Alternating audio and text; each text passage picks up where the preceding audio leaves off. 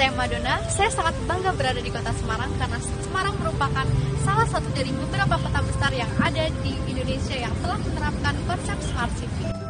Smart City merupakan konsep kota cerdas yang dapat membantu masyarakat untuk mengelola sumber daya yang ada dengan efisien dan dapat memberikan informasi secara tepat kepada masyarakat.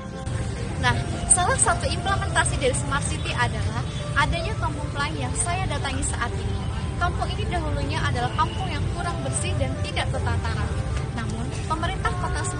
berhasil menyulap kampung ini menjadi tempat wisata sehingga menarik pengguna media sosial di Indonesia hingga dunia.